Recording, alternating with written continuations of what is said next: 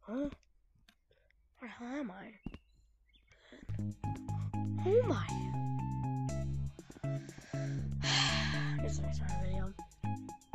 Hey, what's up, everyone? So, I just got a new dorm room, and it's really cool. Um, shout out to my friend, um, aka Whopper, the person who's actually been a few in a few of my videos. Um, uh, he just changed his name because we also do because we're also doing a roleplay right now. Yeah. He made all of this, and he also made probably, and he also made the um YouTube um profile picture, aka this right here. You should probably see that in the um profile picture of the YouTube channel. Yeah.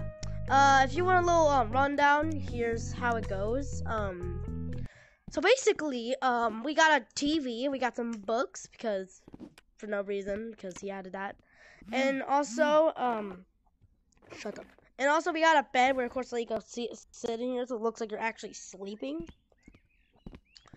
Then down here, you can actually see a lot of stuff here. And of course, if we go right here, we have a whole entire um cool um PC, and we also made a holotar. So of course, like we could do this. It was really cool, and I just want to show you how it all works and how it all runs down. Uh, so let's see how it looks.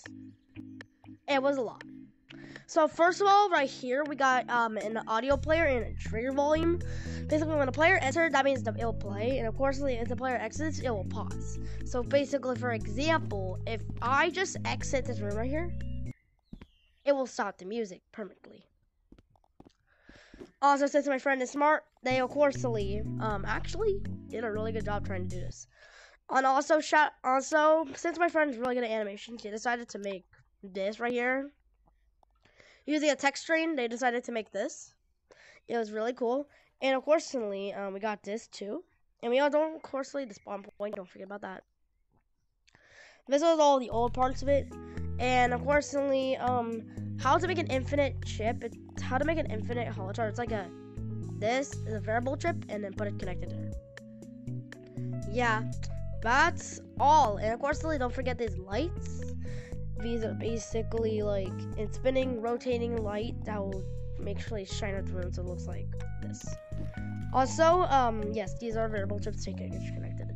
This one right here, this is connected from the mouse to the holotar, so which means if you move it, it will like keep stay with it. And also made it, and they also made the room kind of darker by putting this here.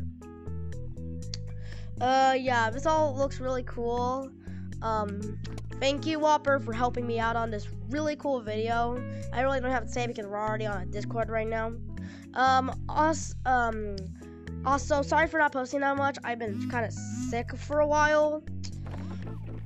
Well, and I had a lot of school to do, or maybe I was just bored and did a lot of cool stuff and enjoyed some friends. Yeah, but also don't forget Yo Rec Room Plus, and when you click it, um, it'll Rec Room Plus membership. Uh, freaking, um, probably what's next is I'm gonna change this rec center door with something a lot cooler and chiller. Yeah. So yeah, that's everything. Thank you, Whopper, aka Pepino, now, um, helping me out for this, and uh, see y'all later. Make sure to subscribe,